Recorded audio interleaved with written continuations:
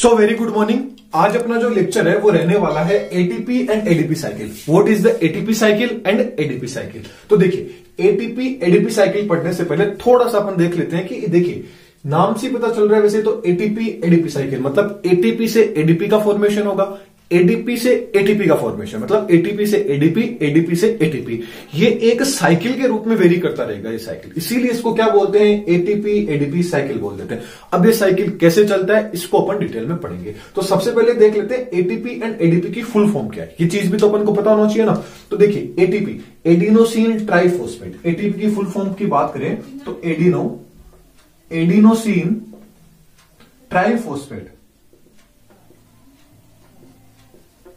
adenosine triphosphate क्या होगी भाई? एटीपी की फुल फॉर्म होगी। एडीपी की बात करें तो एडिनोसिन डाइफोस्फेट क्या हो गया? एडिनोसिन डाइफोस्फेट अब देखिए एडिनोसिन ये नाम आपने सुना होगा।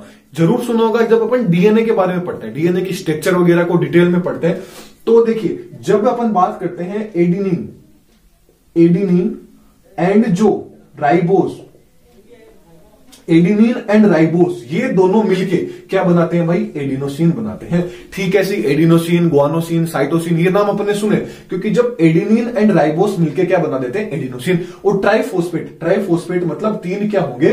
भाई, फोस्फेट के समूह होंगे। तीन क्या होंगे? फोस्फेट के समूह होंगे। तो इसको क्या बोल दिया? Adenosine, triphosphate. स्ट्रक्चर की बात करें कि एटीपी की स्ट्रक्चर कैसी होती है एडीपी की स्ट्रक्चर कैसे होती है? तो चलिए स्ट्रक्चर की भी बात कर लेते हैं। देखिए एटीपी की और एडीपी की जो स्ट्रक्चर है, उसमें बात करें तो एक तो राइबोस होगा और साथ में एडिनिन जुड़ा होगा। तो सबसे पहले अपन राइबोस सुगर बनाते हैं। तो राइबोस ये क्या बन गई भाई? राइबोस सुगर बन गई। क्या बन गई? राइबोस सुगर इसके बाद में यदि अपन बात करें एडिनिन की एडिनिन की स्ट्रक्चर की बात करें तो ये स्ट्रक्चर किसकी होगी? ये स्ट्रक्चर किसकी होगी भाई? एडिनिन ये स्ट्रक्चर किसकी होगी?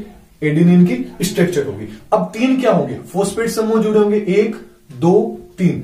ट्राई फोस्फेट तो ये स्ट्रक्चर तो किसकी होगी? एटीपी की स्ट्रक्चर होगी। एडीपी की स्ट्रक्चर की बात करें तो एडीपी एडिनोसिन डाइफोस्फेट एक फोस्फेट समूह क्या हो जाएगा? कम हो जाएगा तो यहाँ तक की स्ट्रक्चर किसकी होगी? एडीपी किसकी स्ट्रक्चर होगी? एडीपी तो आपको स्ट्रक्चर पता चल गई एडीपी में क्या होगा? तीन फास्फेट समूह होंगे। साथ में क्या होगा? राइबोस एंड क्या होगा? एडिनिन जुड़ा हुआ रहेगा। और एडीपी के अंदर दो क्या होंगे? फॉस्फेट समूह होंगे राइबोस और एडिनिन जुड़ा रहेगा। ये थी एटीपी एंड एडीपी की स्ट्रक्चर अब देखिए, जो एडीपी होती है ना, जैसे एग्ज़ाम्पल के रूप में अपन समझें तो हर देश की अलग अलग करेंसी होती है। आप सबको पता होगी इंडिया की अलग करेंसी है। अगर अपन स्टेट की बात करें यूएस की अलग करेंसी होती है। ऐसे ही हर कंट्री की अलग अलग करेंसी होती है। वैसे ही इंडिया की करेंसी रुपया है। तो ठीक वैसे ही जो अपनी सेल होती है, अपने शरीर की जो सेल होती है, उसकी भी एक करेंसी होती है। उस करेंसी को क्या बोलते हैं? एटीपी तो याद रखिएगा सेल की करेंसी क्या होती है? एटीपी होती है। और एटीपी क्या होती है? एटीपी क्या होती है? एनर्जी को क्या करती है? प्रोडक्शन करती है। तो एनर्जी की क्या है? फैक्ट्री है। एनर्जी फैक्ट्री है। एटीपी कौन है? एनर्जी फैक्ट्री है। अब कैसे अपन इसकी बात कर लेते हैं कि अब बात एटीपी से कैसे एडीपी बनेगी और एडीपी से कैसे एटीपी बनेगी? तो देखिए, मान लीजिए अपने शरीर के अंदर एकदम अच्छे से एटीपी है। अपने शरीर में क्या है भाई? एटीपी है। मतलब अपने पास क्या है? एनर्जी है। क्योंकि एडिनोसिन ट्राइफोस्फेट डाई से तो क्या है? ज़्यादा ही एनर्जी होगी। तो तीन फोस्फेट समूह जुड़े होंगे। अब मान लीजिए आपने बहुत ज़्यादा वर्कआउट कर लिया है। अब अपने शरीर को क्या है? एनर्जी की रिक्वायरमेंट है। बहुत ज़्यादा काम अपने कर लिया है कि जितनी अपनी कैपेसिटी थी, उससे भी ज़्यादा अपने वर्कआउट कर लिया है। तो क्या होगा? जब एटीपी होगी अपनी, अब इसमें क्या होगा? हाइड्रोलाइसिस की प्रोसेस के थ्रू क्या होगा? हाइड्रोलाइसिस होगा एटीपी में और तो एटीपी किसमें कन्वर्ट हो जाएगी? एडीपी के अंदर। तो यहाँ से क्या होगा? एक तो फोस्फेट समूह क्या हो जाएगा? ब्रेकडाउन हो जाएगा। फोस्फेट समूह क्या हो जाएगा? ब्रेकडाउन हो जाएगा रिलीज़ हो जाएगा। तो क्या होगा? फोस्फेट समूह बाहर निकला, इसको क्या बोलेंगे? इनऑर्गेनिक फोस्फेट हो गया।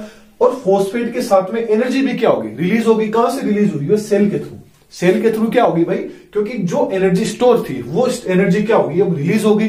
किसके थ्रू? एक्टिव ट्रांसपोर्ट हो गया या सिंथेसिस हो जाता है पॉलीमर का, तब उस टाइम पे क्या होती है भाई? एनर्जी रिलीज़ हो जाती है। मतलब जब अपन बहुत ज़्यादा वर्कआउट कर लेते हैं थोड़ा सा हार्ड काम कर लेते हैं तो जो जितनी ज़्यादा शरीर में एनर्जी थी, उससे ज़्यादा अपन को एनर्जी चाहिए।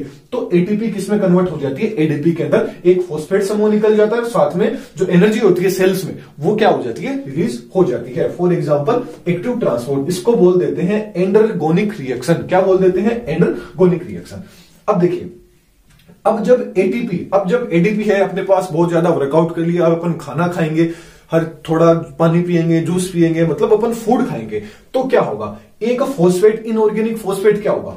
एड हो जाएगा मतलब अपने शरीर में क्या जा रही है? एनर्जी जा रही है। एनर्जी जा रही है किसके रूप में? फ़ूड के रूप में एनर्जी क्या हो रही है? सेल में अब्जॉर्ब हो रही है। अब ये किसके थ्रू हो रही है? By cellular respiration. किसके थ्रू? सेलुलर रेस्पायरेशन, ये अपन बोल देते हैं ग्लाइकोलाइसिस के थ्रू। किसके थ्रू? ग्लाइकोलाइसिस के थ्रू एनर्जी क्या हो रही है? स्टोर हो रही है। तब क्या हो रहा है? एडीपी से क्या बन रहा है भाई? एटीपी बन रहा है। मतलब एक्सरगोनिक रिएक्शन हो रही है। क्या हो रही है? एक्सरगोनिक रिएक्शन हो रही है। मतलब जब शरीर के अंदर एनर्जी होती है, अपने शरीर में जब अपन खाना वगैरह खा लेते हैं तो एडीपी होती है वो एटीपी से मतलब एडीपी होती है, वो एटीपी में बन जाती है। जब अपन बहुत ज़्यादा वर्कआउट कर लेते हैं तो एडीपी किसमें कन्वर्ट हो जाती है? एडीपी के रूप में यहाँ एनर्जी रिलीज़ हो जाती है और यहाँ एनर्जी अपन को मिल जाती है। ये एक साइकिल के रूप में पूरी की पूरी प्रोसेस चलती रहती है। इसी को बोलते हैं अपन एडीपी एडीपी साइकिल इसी को क्या बोल देते हैं? ATP and ADP cycle ATP का आपको पता चल गया एडिनोसिन प्लस ट्राइफोस्फेट मिलके एटीपी बनाते हैं एडिनिन एडिनोसिन प्लस डाइफोस्फेट मिलके क्या बना देते हैं? एडीपी बना देते हैं। इसकी स्ट्रक्चर भी अपन ने देख ली और एडीपी को क्या बोलते हैं? सेल की करेंसी बोला जाता है। ओके ये तो चीज़ मैंने आपको समझा दी। अब इसके आपको नोट्स भी चाहिए होंगे। तो नोट्स आप टेलीग्राम से ले सकते हैं। वहाँ से आप डाउनलोड कर लीजिएगा और यह आप सिर्फ़ समझ लीजिए। तो नेक्स्ट लेक्चर में फिर मिलेंगे। Thank you